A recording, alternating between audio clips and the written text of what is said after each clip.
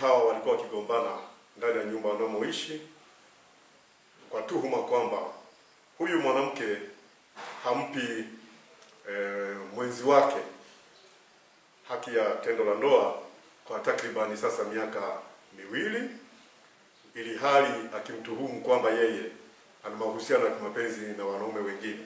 Kamanda Shira ametoa wito kwa wanaume mkoani humu kuacha tabia za kuwapiga wenzi wao na kuwasababishia vifo kwa madai ya kunyimwa haki ya ndoa. Na tunaendelea kutoa wito, kwa sababu tunatoa haya kila siku, kwamba ni vizuri watu wakaitii sheria, na kama inafikia mwanamke umemwona kwamba anakuudhi kwa mambo ya msingi kama ya ndoa, ni bora ukachukua hatua zingine za kuachana naye. Kituo hichi kimepata fursa ya kutafuta maoni kwa wakazi wa mkoa huu juu ya tatizo hilo linalosababisha wanaume wengi kujikuta mikononi mwa vyombo vya sheria. Wamekuwa na haya ya kusema.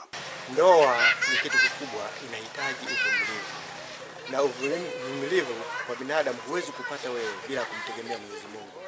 Kwa hiyo mimi nawaasa tu kwa wanaume kama wanavyofanya hiyo hasira za kikatili, hivyo sio vizuri. Tunalalamika wanawake wanatunyima haki yetu, ndio maana sasa mnasema kama sisi wanaume ni wabaya. Vitendo vya wanaume kuwapiga wake zao kwa wivu wa kimapenzi kwa madai ya kunyimwa haki ya ndoa vimekuwa vikijitokeza mkoani Mara kutokana na wanaume kudai wanawake zao kuwa na tabia za kutoka nje ya ndoa. Sadiki Unga, Star TV, Mara.